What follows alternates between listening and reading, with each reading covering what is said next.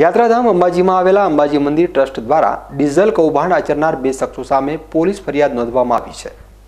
ઓગસ્ટથી ડિસેમ્બર દરમિયાન અંબાજી મંદિરની બે ગાડી અને જનરેટરના નામે ખોટા ડીઝલ બિલો બનાવી બે લોકો દ્વારા એક લાખ બાર હજાર સાતસો આડત્રીસ રૂપિયાનું કૌભાંડ આચરવામાં આવ્યું છે.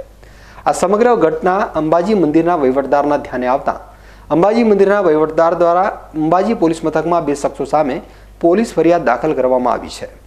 પાંચ માસ દરમિયાન આ બંને શખ્સ દ્વારા એક હજાર ચારસો પિસ્તાલીસ લીટર ડીઝલના વપરાશનું કૌભાંડ આચરવામાં આવ્યું છે. ત્યારે આ બાબતે યોગ્ય તપાસ કરવામાં આવે તો મોટા મોટા નામો પણ બહાર આવી શકે તેમ છે. અત્યારે તો અંબાજી મંદિર દ્વારા શંકરજી, ફતાજી અને પેટ્રોલ પંપના કર્મચારી સામે ફરિયાદ નોંધવામાં આવી છે.